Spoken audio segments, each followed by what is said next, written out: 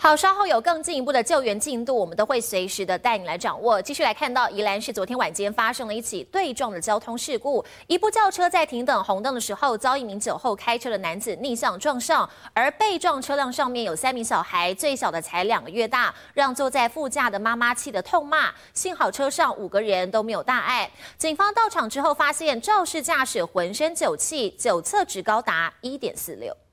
红色轿车右转通过十字路口，但看看地上标线，驾驶已经开到对向车道。一部黑色轿车才减速要停红灯就被撞上。坐在副驾驶座的妈妈担心小孩受伤，气得朝肇事驾驶破口大骂。警方上前安抚，才冷静下来。而肇事男子浑身酒气，似乎还不知道自己闯下大祸，连坐着都摇摇晃晃。肇事红色轿车引擎盖扭曲变形，被撞的黑车也很惨，车壳被撞碎，闪着大灯，驾驶顾不得车损，先将孩子送医。那一边已经在闪黄灯了，是我不知道他为什么会直接从这边过来，而我脚也是去插到，好都有戏，所以就是勒到他们当下就说他肚子腹部很痛啊。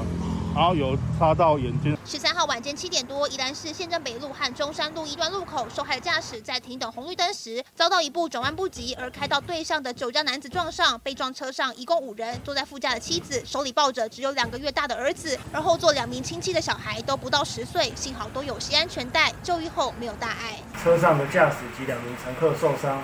那警消获报到场后，啊，立即将伤者送医治疗。肇事驾驶初步酒测值一点四六，被依公共危险罪嫌移送侦办。尽管有法律规范，酒驾意外还是层出不穷，也难怪让无辜用路人气得痛骂。酒驾真的很过分。